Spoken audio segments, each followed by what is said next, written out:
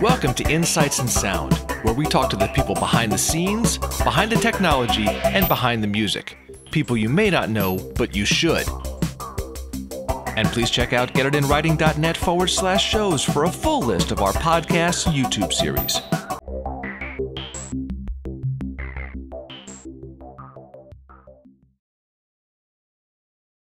Welcome to Insights In Sound, live from Synthplex 2022. My guest is composer Glenn Jordan. Glenn, good to see you. Good to see you. Um, not quite sure how to start this off with you because I've known you for so long that I don't want to leave anything out that would be just shorthand. So let's start off with just a little bit of your main credits. I know you you go back to actually having been in the band Sha Na Na. I do.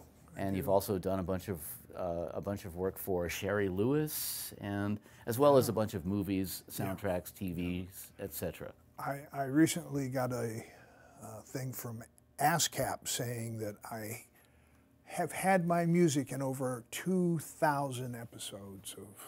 That's that's just as a composer. That's not the session stuff as You a guitarist. slacker. Yeah, I know. I've been laying around. Well, so let's start out with a little bit of background. Okay. you are much more coming from the musician side than a lot of people who come from the, the trained, classically trained composer side and all that. Yeah. Give me a little bit of your musical background. Well, I came from one of the musical high spots in the country, the state of New Hampshire, and uh, uh, you know that's the freeway to the music business right there. Um, I grew up in New Hampshire and just as- got blown away by the music of the '60s. I mean, the Beatles, the Stones, all of them, especially the Beatles, of course. Um, but I just suddenly knew that's what I wanted to do, and so I went to one year at the University of Chattanooga um, as a composition major. And the head, the, the, the head of the composition department told me that all music after Bach was bullshit. Sounds like my old music teacher in high school. Yeah. Yeah. That's why I was an art major. And so, yeah, exactly. I get that. Um, so I'm sitting in my hotel room trying to take off Eric Clapton guitar solos and, and figuring out the chord changes of the latest Who record. And at the end of the second semester, I went home to New Hampshire for the summer, and a friend of mine said, Hey, do you want to come play for this band called the Spectres, who is one of the top bands in New England? And I said, Yeah. And we played in Hampton Beach Casino, which dated back to the 20s. All the big bands played there and so on and so forth.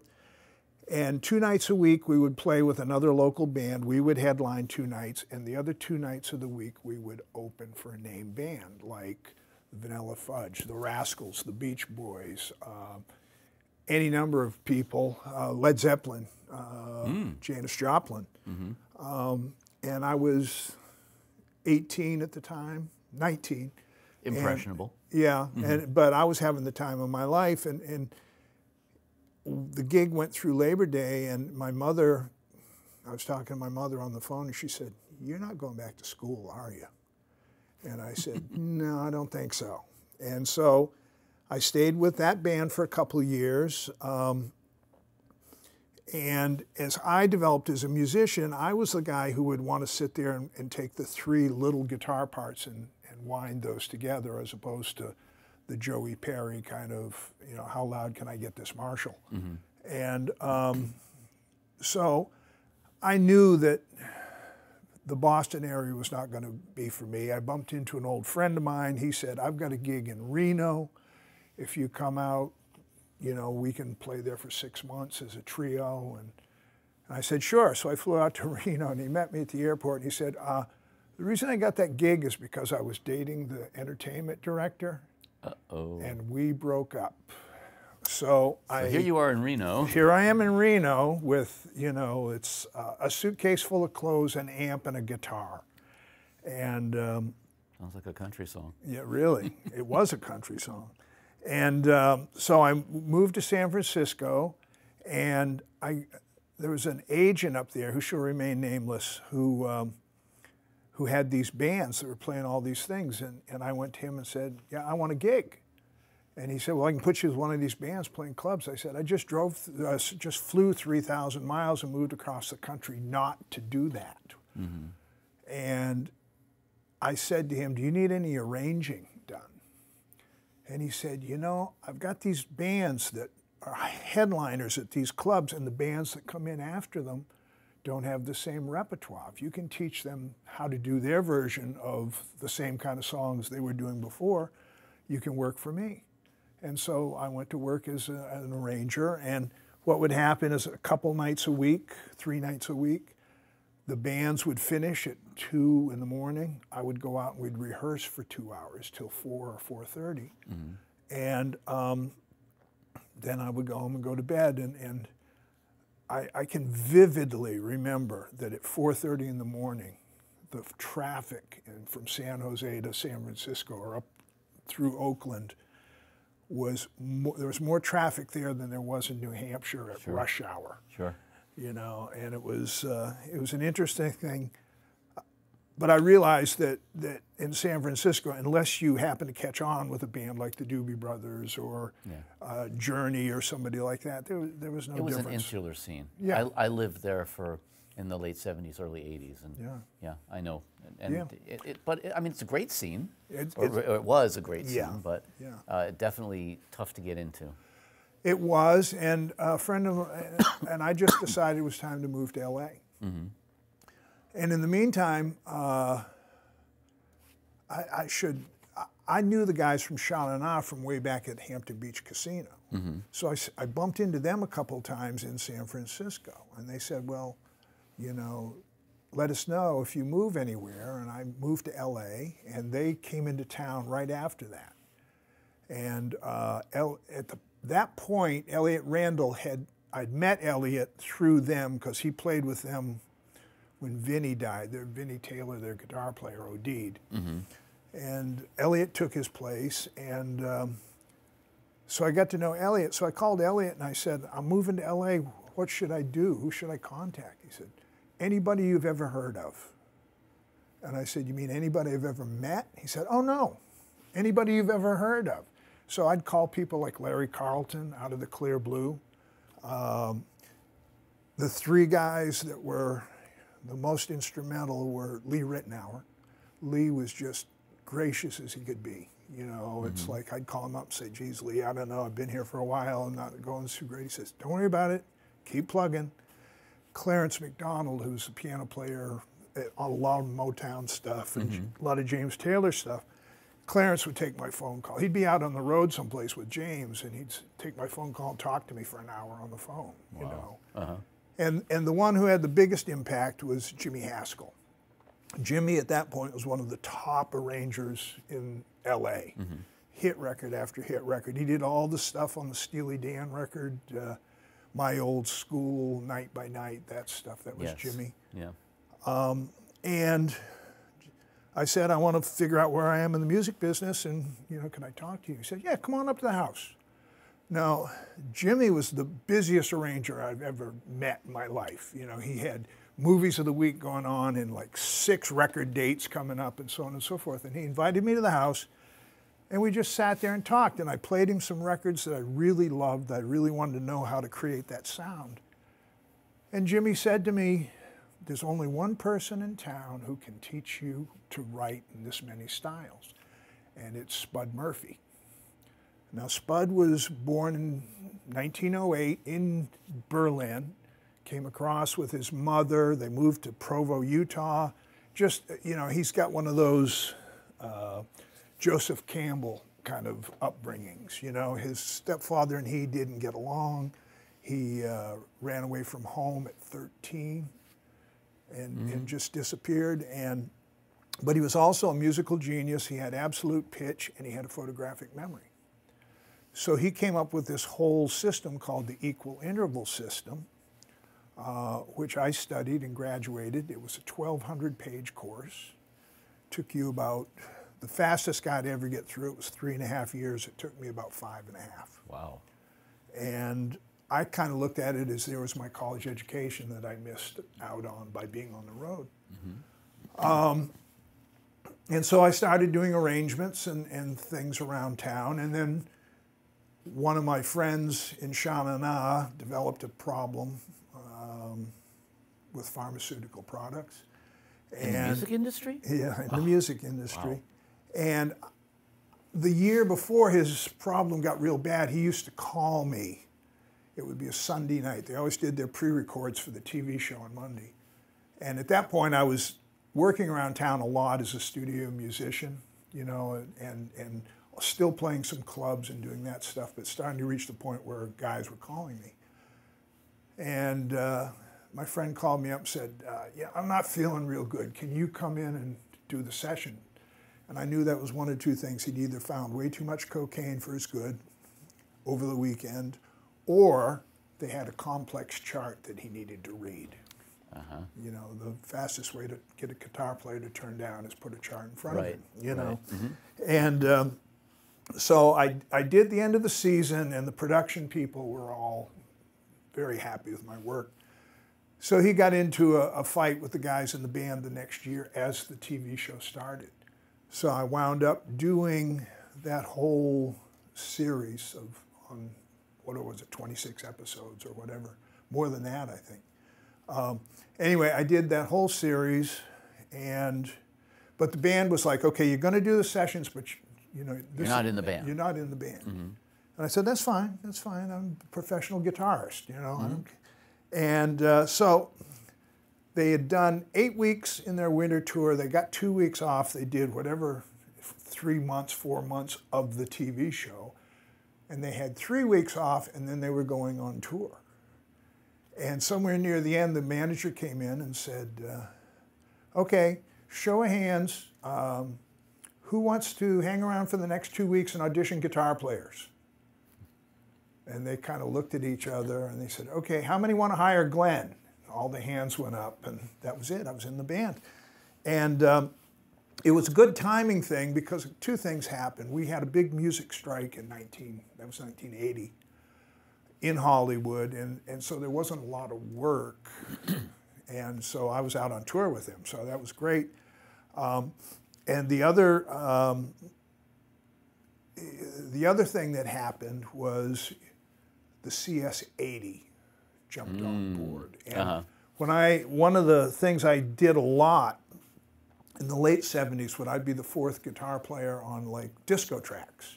So guys would be going waka waka, and another guy would have a chorus pedal, and somebody else would have a flanger or something, and I'd be the guy that's going one, two, four, one, 2 you know, and I would, I loved it. I got paid as much as the guys with the wah wah pedals, you know, and um, but when the CS80 came along, that totally changed. You know, it was like you used to go to those things where there'd be one, maybe two keyboard players, but that would be either a B3 or a clavinet and a piano. And a piano. hmm Yeah, and and they, I started going to sessions or or seeing sessions where it would be a piano player and an organ player and two CS80 guys Wow. Uh-huh. you know, and especially the TV the TV shows. They were like they would have four. I used to go to Knight Rider all the time when Don Peake was doing it, uh, just to hang out, not to, you know. And there would be four uh, CS80s. Two guys would be playing on whatever they were recording, and the other two would be programming sequencers. Needless to say, we know what your next purchase was. Not quite yet, but when I got when when I got near the end of the Sha-Na-Na thing. But now I, I want to back you up a minute Yeah, here sure. because you jumped to, you know, I got to LA. I'm talking to all these people who are sort of mentoring me, and now you're suddenly a session musician. That doesn't happen overnight either. somebody told me, actually, I think it was Larry Carlton, said, Well, if you're a good guitar player, and I assume you are, it'll take you about two years to get your feet under you. And that's, you know, you can fast forward through that in, his, in historical terms, but in reality, that two years was knocking on a lot of doors, wasn't it? Knocking on a lot of doors, playing a lot of clubs, uh, looking, doing a lot of demos. Okay, that you know, scale in those days was I, I don't even remember what scale was, but you get paid a third of scale to go in and. Uh, I remember one time I showed up for a session to do. Uh, they weren't happy with the guitar player on this album, and the producer called me and said, "I, need you to fix two two songs." So I went in at like six o'clock at night, and um, at that point, I'd redone every album, uh, every guitar track on the album, and um, done a bunch of backgrounds with the, the girl singer, and got out of there at like seven in the morning or something. You know, uh, you'd get stuff like that once in a while because it's you know. um, and one of the things I did, uh, I did uh, Bobby Vinton sings the world's 100 greatest love songs, where we went through every double and triple scale drummer in town because they would only do one session with Bobby. Yes, I, I have heard. I have heard stories. Yeah. He's quite legendary. Yeah. Uh huh. And uh, so, you know, those things were there. I, I you know, You basically seized on opportunities, and and one thing that I I think the sense that I get here is you also didn't say no. yeah, you can't afford to say no. Exactly. Though, bring that up when we're talking about my film career. And I, there- there's a couple times I, I, I had to say no, just ethically and morally. I couldn't, I couldn't do, I couldn't be on that film. Okay. So at this point, you're doing sessions. You're gigging with Shauna Na. Yeah, yeah. Where did? It sounds like you still didn't quite know what you wanted to be when you grew up. No, I absolutely knew what I wanted to be when I grew up, and that was a film composer. So Or what put that bug in your ear? Yeah, Yeah, let's let's. What I how how did you even identify that as a thing? Because in LA it is a thing. You know, uh, it's it's it's very much less so in New York, Um, yes. Nashville, almost non-existent. But that's what lived in LA, and at that time, this was the land of Jerry Goldsmith and of course John Williams and and uh, Jamie Horner and and uh, Basil Poledouris and, and people like that who were just doing these things. And so, try doing the same thing I did as a guitar player, trying to create opportunities, take advantage of whatever popped up, but at the same time trying to create things. I started doing a bunch of um, student films Yep. at Northridge and USC, and Yep. and uh, you know, and um, Just anything to get get credits. yeah, Yeah. mhm. yeah. I also took a film class uh, with Don Ray, and, and I did a few sessions with that, but that was a who's who of who has been film composers for from that period until the you know 2010 or so. Uh-huh. And um, so, anyway, just once again, you're just looking for those opportunities. And um, in the la- Bowzer left Sha Na Na in January of '84. Okay, and we did a tour.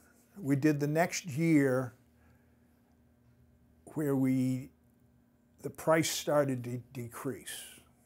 Okay, so we, we added more dates, and, and uh, in the meantime, my wife and I had our first child.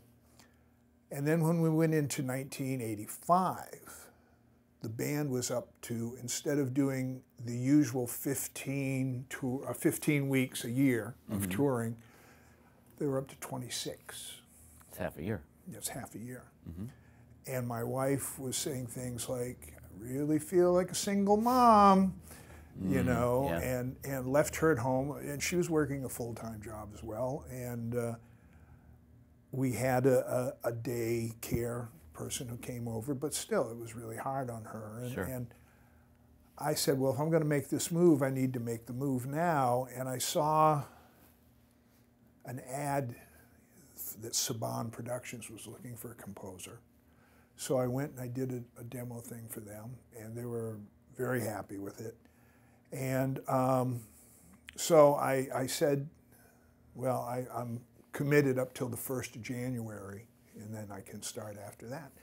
And they said, sure. And, and uh, remember way back at the beginning of this interview, from Concord, New Hampshire, the first day I worked for them was when the Challenger exploded with uh, Ow. with the uh, Christa McAuliffe, who was from Concord, New Hampshire. So it was like, wow. Uh, I don't even want to get into the symbolism and, of all this, but I worked for Saban, and it was really good for me because I was coming in and working eight or ten hours every night to get these cues done for these TV shows.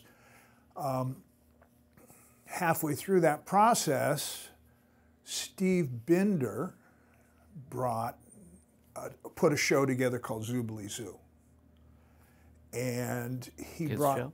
kids show, animated show. Um, people dressed up in fox and wolf costumes and stuff like this, and Ben Vereen was in it. He was the, one of the stars, and Steve Binder was the guy who did the Elvis comeback special Uh-huh.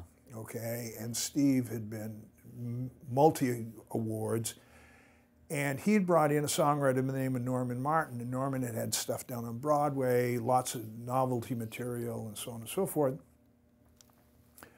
And Norman couldn't work fast enough. So they said, We need to find more songs. And I said, Well, I'll do it. And long story short, everybody was thrilled. I was so I was writing songs, also doing the other stuff I did. I was, you know, and um, by the end of that process, um, everybody in the TV show was Zoobilee Zoo was thrilled. Um, said, "Oh, we'll call you for more work," and so on and so forth. The next gig I got out of them was a production assistant who was working on a documentary, and he called me out of the clear blue and said, "Would you do music on this?" And I said, "Yeah, of course." And Again. you again, Don't you say no, yeah. Don't say no. And um, so Saban laid me off in February of the next year, and um, so suddenly I was out of the clear blue. I was hustling for more work, and I saw that Steve Binder was doing Pee Wee's Playhouse. Hmm. And I called him up and said, Hey, boy, Steve, I'd love to do an episode of that. And he said, Well, Paul's philosophy is he wants, he's going to do 10 shows. He wants a separate composer on each show. Bingo. Here was the bingo. The first thing I heard popping out of my mouth is, Well, what you need is a music supervisor, musical director. And he said, Geez, you're right. I said, That's the only way you're going to have any continuity in any of this music, how we Right. present it. Right. You know, Like one of the rules, and if you're ever watching Pee Wee's Playhouse, every time Pee Wee's walking in the playhouse, there's music playing. Um, you know, every time he's the, the flower, you know, it, it's just it's it was a style, and, and I would so I would get together with people, and we were using Danny Elfman, and I, Mark Mothersbaugh became a friend, and and um, so I did four of the five seasons of Pee Wee. I was the music supervisor.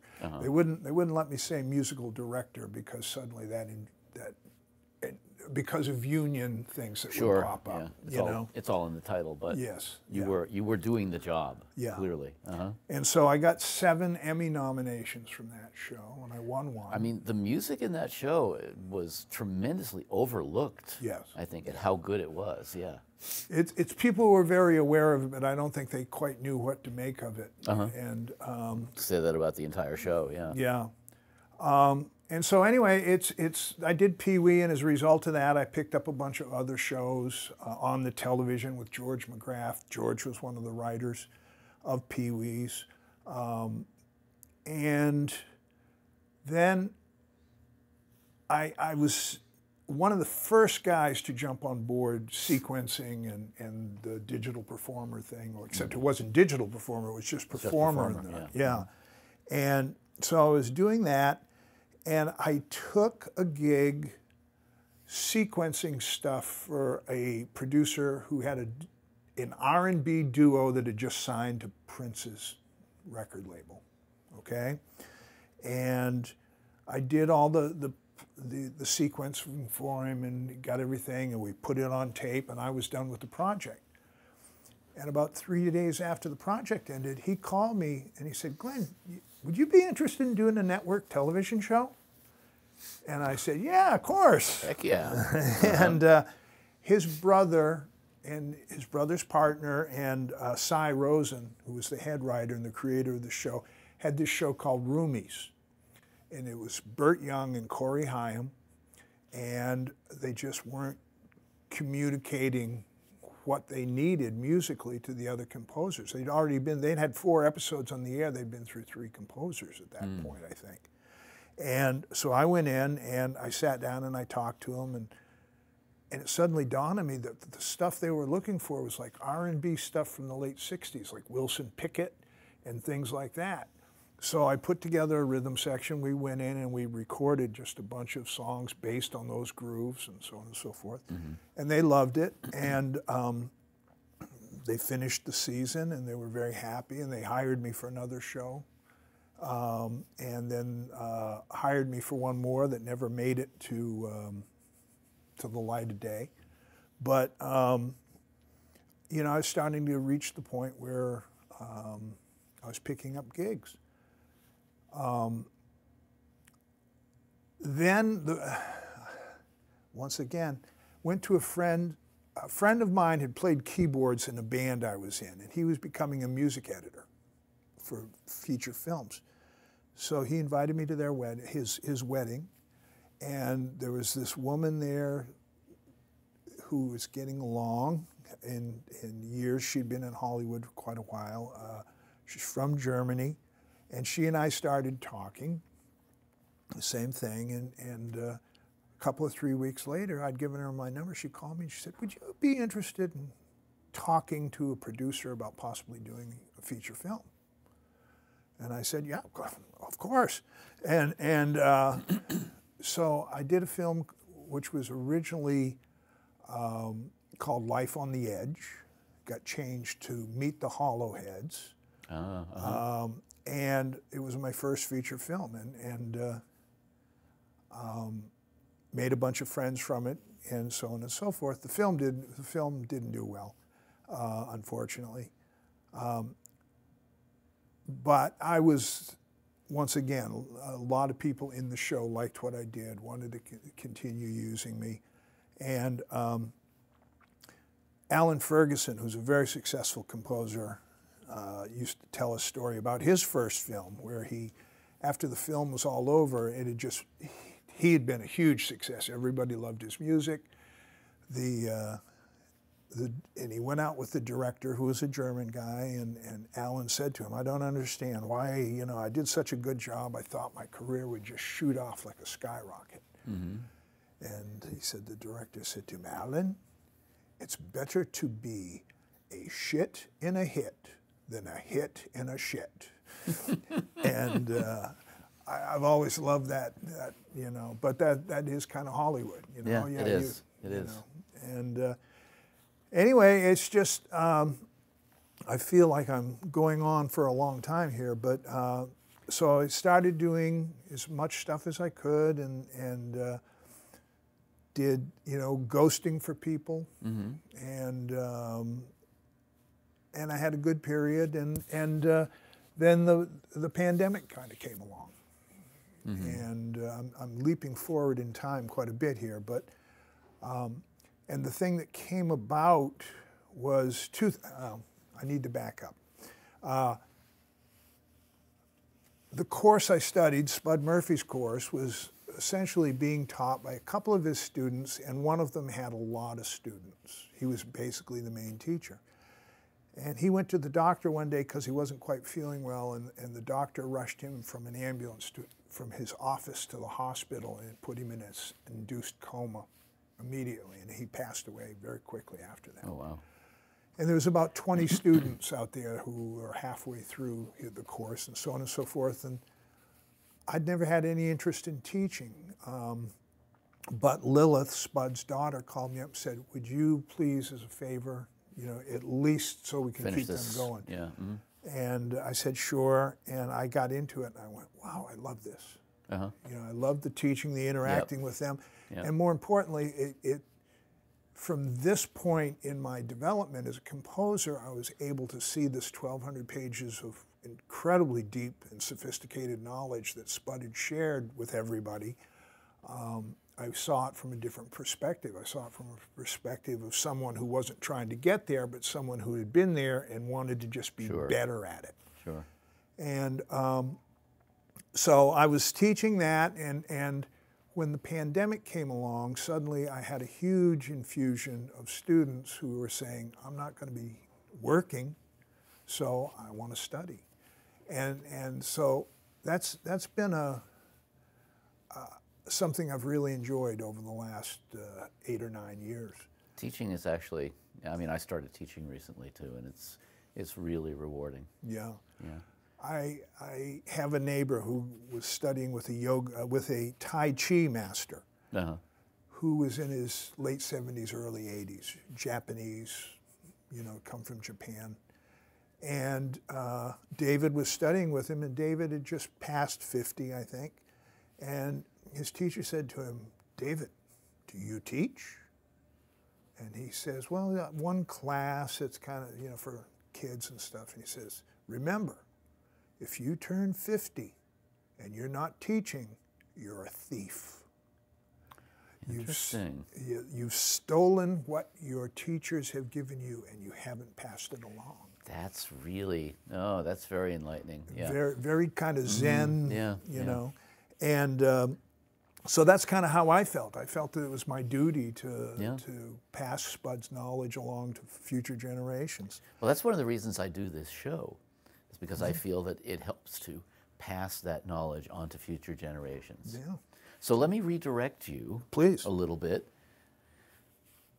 There's a couple of questions that come to mind. If, if I put myself in the place of a younger person watching this and. Sure. listening to you, yes, you have, you know, you, we've gone into a lot of your personal history. Mm-hmm. And there's a common thread there, as I said, which is, you know, to basically take every gig you can to a certain extent. And obviously, you know, there are some compromises one doesn't make, and that's personal choice as well Yeah. as ethos and stuff like that.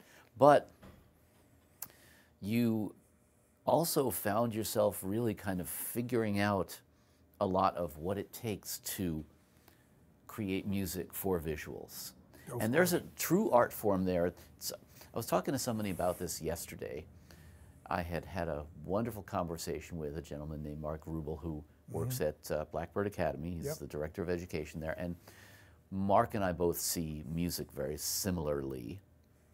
And he said something that I thought was very profound. He said, uh, we're, we we were talking about, we're, we're both Kurosawa fans. Yeah. And he said, you know, when I'm doing a mix, I try and imagine each part as an actor in a movie. And in doing so, I can figure out what this needs. You know, this guitar play, this guitar part is, you know, in a certain room, in a certain space. You know, what kind of surrounding do and and I think that's really profound. And I think it works both ways in terms of you're presented with visual images. Yeah. How do you conceive of the music that because you know the music is going to really have such a dramatic effect and such a subtle and subliminal effect on those visuals. So I think in developing that particular sense talk to me about that a little bit. Okay, yeah, it's there's a bunch of components that go into that. One of the things is I've had potential students, potential composers send me videos that they've done. And the first thing that you can always hear it instantly is a vast majority of them get the tempo wrong. Okay? It's tempo brings you energy. Yeah. And by, you know, the difference between and this, you know, is, is significant. Yeah. And, and um, so that's the first thing is to do that. Now, the second thing is one of the things that, that most, when you, when most film composers lecture, they talk about, yeah, it's not the music I want, it's the music the director and the producers want. Mm-hmm. And so consequently, you have to give them the emotional impact that they're hoping for. Ron Jones says it really well. He said, we, we don't get paid as composers. We're not paid to write music. Were paid to enhance the emotional content of the scene that we're performing. Good perspective. Yeah, and um, and and that's very much it. I mean, you know, uh, go back to my roomies example. They'd had three different composers come through there because the composers weren't able to hear what they were saying. Once I realized what they were saying is, I love Wilson Pickett. My job was done. You know, then it was just going home and putting notes on paper. It was like, you know, but Yeah. and, and hiring a good band. That Yeah. was, you know, But I think you're realizing a.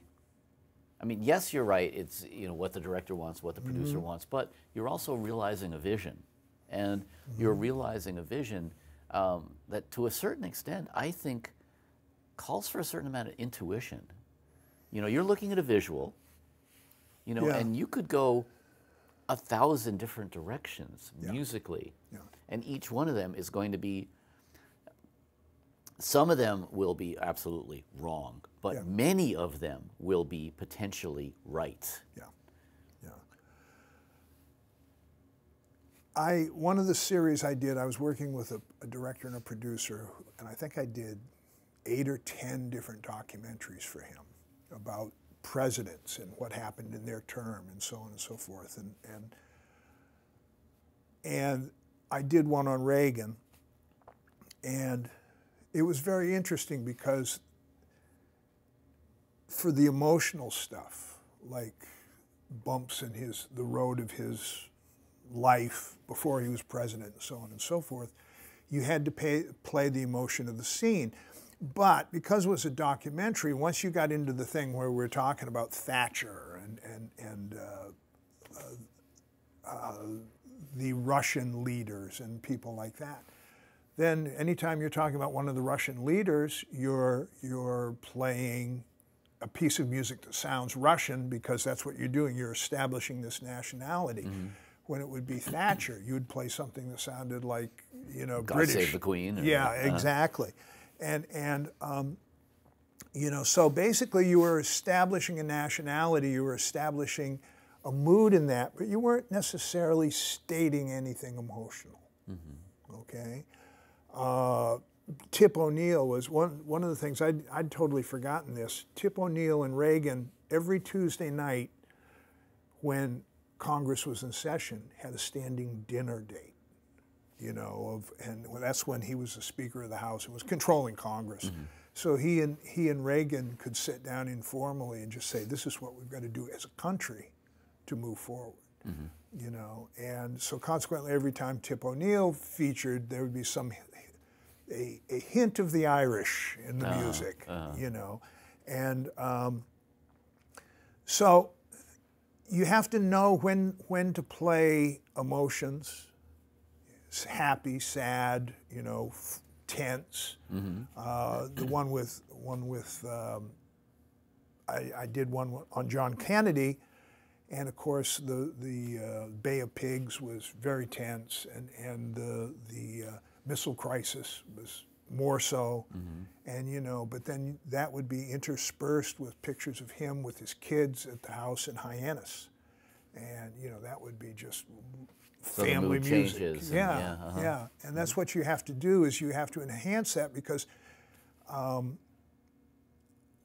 one one of the guys I ghosted for a lot was Mark Snow, Uh-huh. and I never did any of the scoring on X Files, but I did do a lot of the scoring on Millennium, and then he had another show, a spin-off called The Lone Gunmen, and. Um, what you would have to do is oh you would you would see these scenes and they would be in the case of the X-Files Mulder and Scully walking on a harshly lit bright stage with guns drawn and nothing else going on. And then you'd see the stuff Mark would do and you'd be on the edge of your seat. And it was all music. Yeah. So you know that was the thing you'd have to watch for. You, it's like okay, this this has to be scary, and there's nothing in this picture that's scary. So guess what? It's up to you. You know, and and Mark was the king of that stuff. I mean, he, he did what seven years of the X Oh, yeah, Files. yeah. You know. and, Well, uh, and I, I mean, you raise an interesting point there because, yeah, again, it is very intuitive. It's very much looking at this and looking at it in the context of this whole big picture, Yeah. literally. Yeah. You know, what do I want to convey here? Mm-hmm. And, or not what do I want to convey? What does the director want Yeah. to convey? What does the filmmaker want to convey? Yes. Mm. Yeah. Yeah. So, bringing that around full circle here, um, you've had a long career in doing this. And obviously, some of that has been intuitive and some of that has been very technical in that sense. Yeah. People coming up now, they have a lot more tools at their disposal. There's a lot more media at their disposal. What would you tell 15 year old you coming up now? Wow. Um,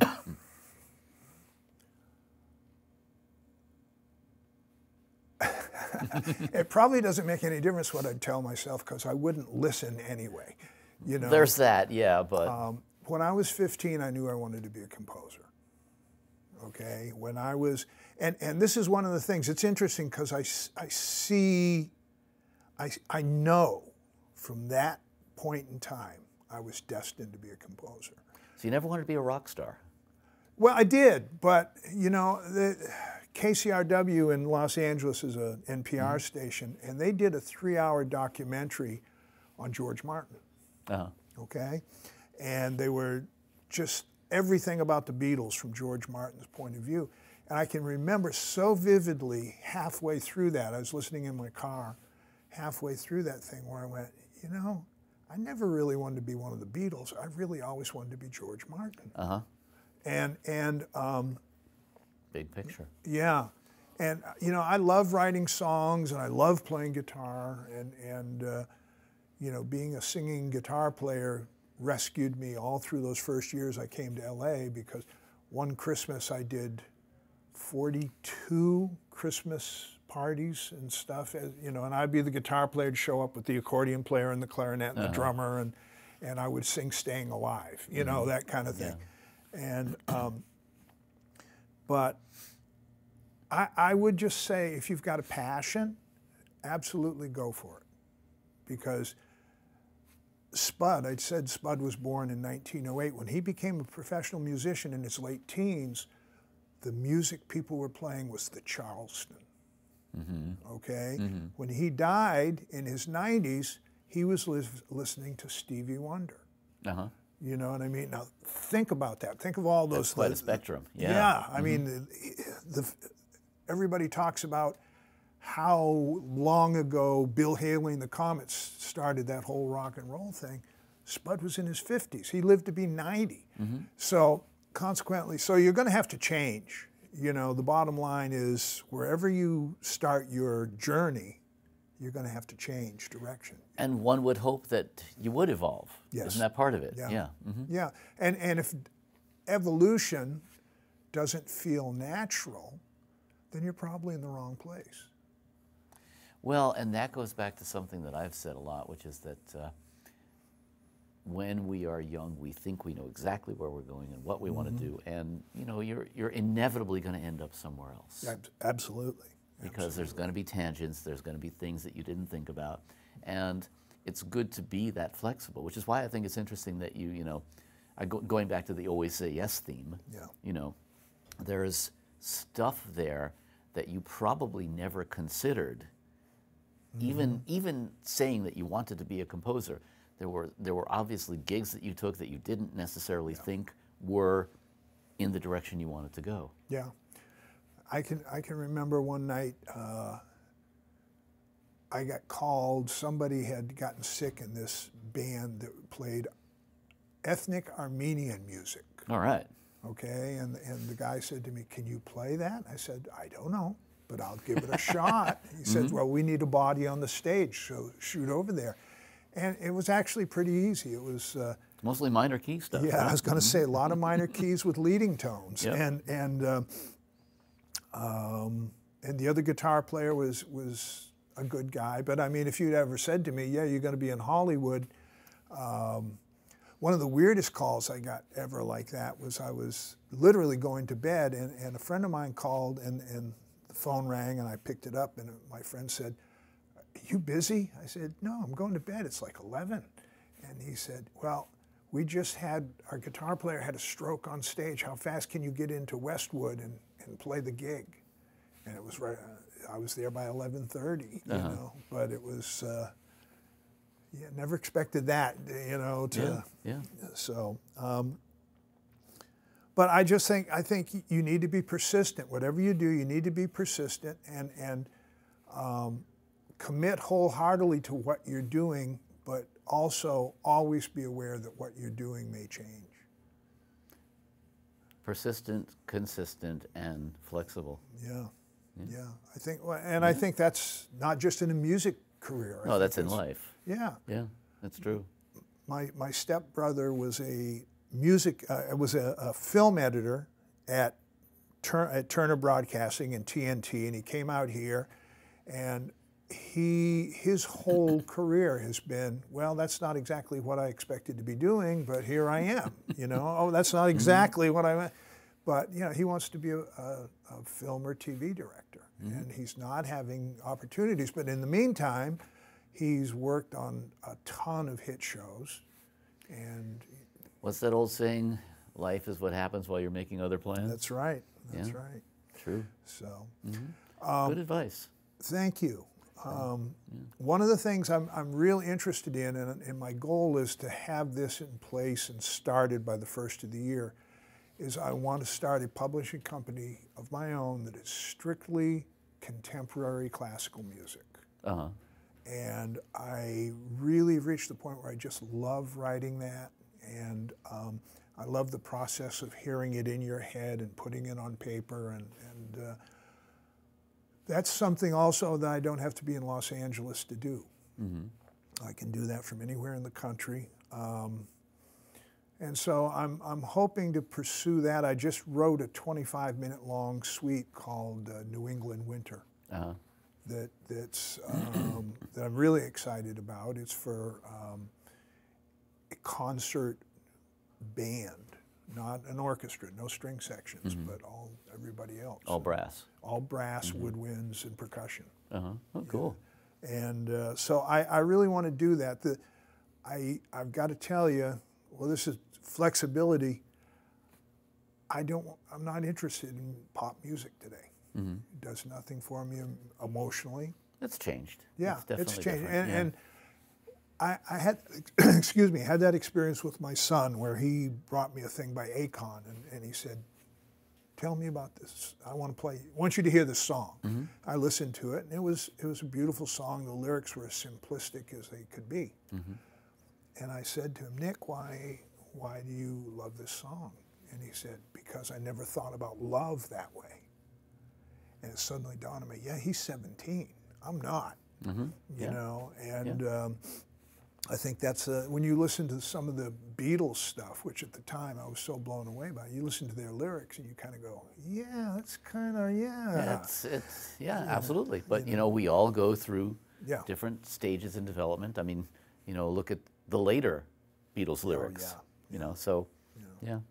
Well, I think that's but that's really that's something that's very important for people to realize, especially early on in their careers, that it's not going to go the direction you think it's going to go.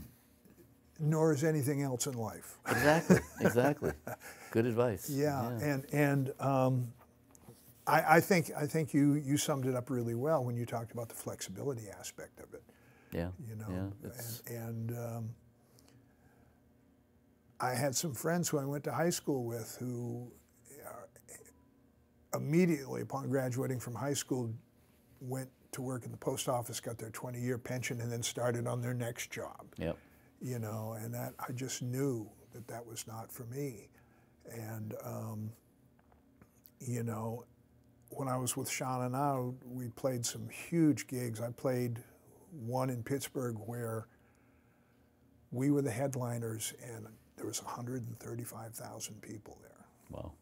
And to look on that stage and just look at this sea of humans, yeah. yeah, and it's something I'll never forget. You know, it was just an Mm-hmm. Yeah. amazing experience. So it wasn't Woodstock, but it was close enough. You know, it's it's all about having those experiences. That's right. That's right. So Glenn Jordan, thank you for being my guest. thank you, Daniel. I'm glad to do it, and um I hope it helps whoever's listening. Oh, I think it will. Good. Hey, I'm Daniel Keller. Don't forget to hit the subscribe button and join us each week for Insights In Sound.